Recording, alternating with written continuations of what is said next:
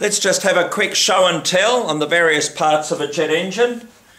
This front part of the cowling, these big fans, that's actually one of the blades. This is titanium, that is a compressor blade. You'll see it's got a hole in the bottom and the ventilation holes in the top, the round holes.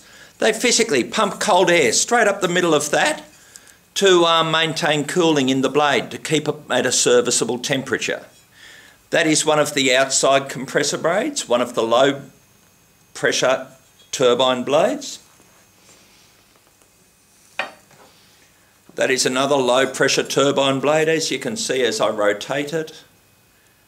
It's got that change in pitch that we spoke about to keep constant thrust and constant pressure along the length of the blade.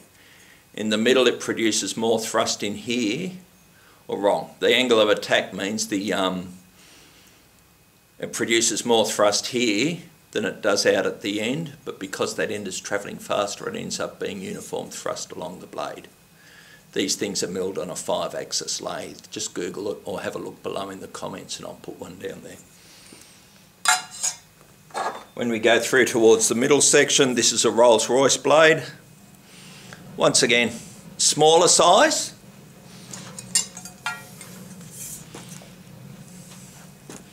Smaller size because the engine is, or the um, diameter of the engine, I'll put them the right way round. That one's one of the black ones, one of the middle ones. That there's one of the outside um, low pressure middle pressure turbines, blades.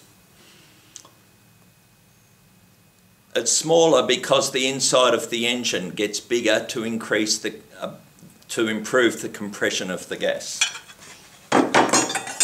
These things here are the um, high pressure high pressure compressor blades. So we've got three different um, blade sizes going through. You'll notice, well, there's another Rolls-Royce blade that's been scrapped. You can physically see inside, if I can get it so you can see them, like that. You can see the air holes there and there. The air vents, they physically pump air through that to keep the engine cool. That's cooling air. These I'll talk about materials in a sec. This is a guide vane out the back of the engine. This would be about that position there. This is the combustion chamber guides. You can clearly see why that one failed. The crack is incredibly obvious. That yellow colouring could be sulphur from the fuel, could be chromium oxide, because this is a chrome nickel alloy. So once again, you can also see the massive amounts of cooling air and the cooling holes that are necessary to um, keep the aircraft up in the air. That's where they're pumping the air through just to keep the engine cool. Inside the combustion chamber, we've got an aluminium honeycomb.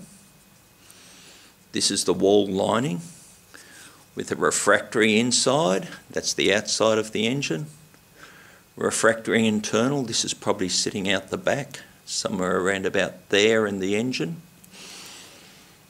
This here is the combust. This here is the layer inside the actual um, combustion chamber. This is one of the plates. Let's talk about materials just quickly. You must have must must have a metal that oxid that forms an adherent oxide layer. If the oxide layer falls off at these high temperatures, your plane tends to fall apart, which is not good. So the engine must have an adherent scale layer. They use titanium. When the metal oxidizes, there's the metal. Oxygen and high temperatures forms a scale layer. That scale sticks. And it is solid and it is impervious. Oxygen does not get through it. So once it forms a scale layer, nothing more happens. Eventually a little bit of the metal migrates through, comes here and it gets thicker eventually. but that stays attached is the key. The titanium stays attached. Titanium blades are used out here. Once you get to higher temperatures, you need something with better and a more adherent scale. We use stainless steel.